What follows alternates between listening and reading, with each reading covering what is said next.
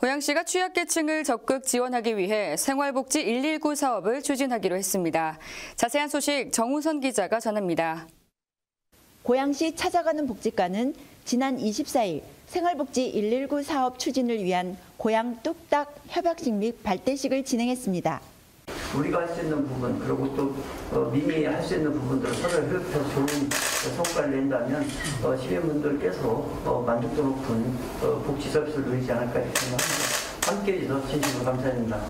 생활복지 119는 사회적 취약계층이 생활 속에서 겪는 작은 불편 상황을 쉽게 해소할 수 있도록 지원합니다. 소규모 생활정비는 지역 자활센터에서 담당하고 기술력이 필요한 서비스는 참여하는 사회적 기업 봉사회가 담당합니다.